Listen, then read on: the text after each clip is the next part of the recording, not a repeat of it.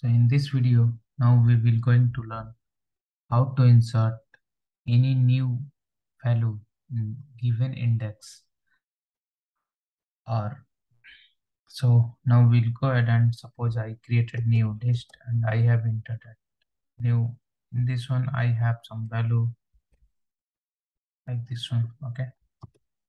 So now if I go ahead and try to print that so we have value now 1 3 5 6 and 7 so on position 1 if I suppose I wanted to add something new element not currently it's now 3 so if I wanted to insert suppose 2 on index 1 so how we can do? And every time I wanted to change that index position dynamically and then insert that value. So we'll try to look into that. So first thing as we know that we need to put that insert that value so we need to use that input and then we need to put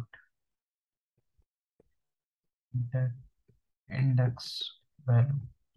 First thing we need that index value. Okay, and then we need value as well. So this one that index value.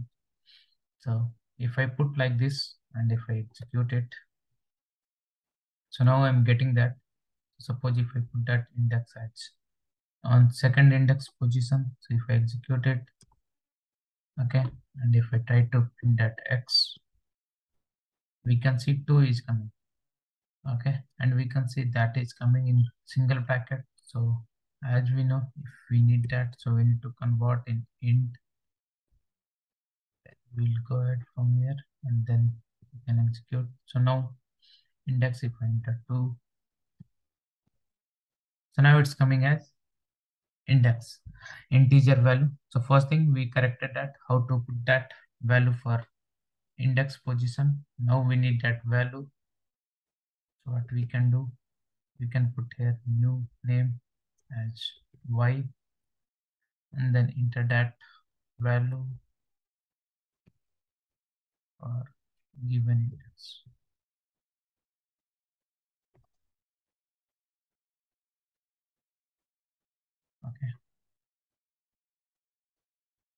So now already second icon so I will put uh, here 4 because we don't have 4 so now I will enter that 4 and now if I try to see that value of L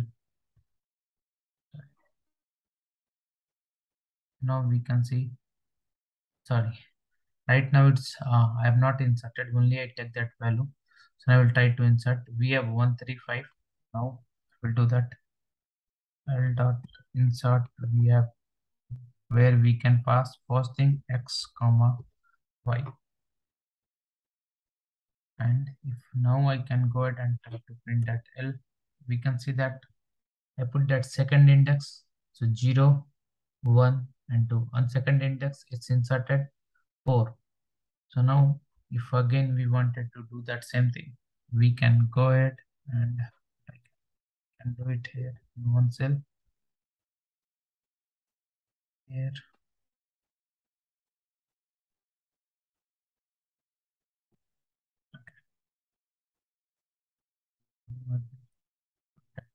So enter index value. This time I will put suppose index position as 0 and value I wanted here 22. Now I will go ahead and put L dot insert x comma y. Now if I put that we can see now on 0 index 22 got inserted here. So in this way, if we have given that uh, index position and then we need to insert that value, we can use that insert value and then we can do it. Also, I'm uh, going to create one more where we can understand how to do append and extend also we can use to insert how those things are going to work.